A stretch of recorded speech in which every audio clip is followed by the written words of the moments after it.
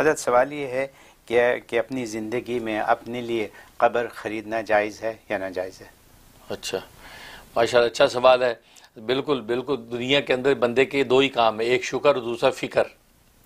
शुक्र दुनिया की नेमतों का, फ़िक्र आखरत की। पर ये दो के अलावा तीसरा हमारा कोई काम है नहीं। या हमने अगर कोई काम पाल रखे तो ये अपनी खुद, अपनी बददिमागी से काम पाल रखे हैं, जिसकी वजह से शुक्र से भी रह जाते हैं और फ़िक्र से भी रह जाते हैं।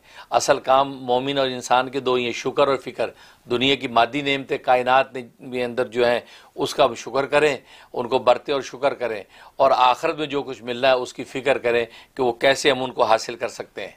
और ये कब्र जो है, ज़िंदगी के अंदर कब्र को खुदवाना और उसकी जगह लेकर रखना, ये उस फ़िक्र ही की पहली मंजिल है। क्योंकि आखिर की पहली मंजिल कब्र ही है। और आप माशा इतने मुतयक़ हैं कि आप दुनिया के अंदर ज़िंदगी में अपनी कब्र जो है, वो ख़रीद कर रख रहे जगह तो इसका मतलब ये जह किस्म, जह नसीब कि आपको अल्लाह ने वो फ़िक्र भी अता फरमा दी। लोग तो दुनिया में ज़िंदगी के सामान खड़े करते हैं, मकान, दुकान बनाते हैं। ये पता नहीं ज़िंदगी यकीनी नहीं है, मौत यकीनी है। तो अगर आप अपनी ज़िंदगी के अंदर कब्र बना के रख रहे हैं कि ये कब्र की जगह मैंने ख़रीद ली है तो ये तो आप बहुत बड़ा यकीनी जो मंजिल है, उसके लिए आपने ये सामान किया है। अल्लाह के यहाँ बहुत मकबूल है ये। चाची क्यों असलाफ हमारे जो थे मुतकदीम बुज़ुर्ग, वो तो अपनी ज़िंदगी में कब्र की जगह मुतन कर लिया करते थे।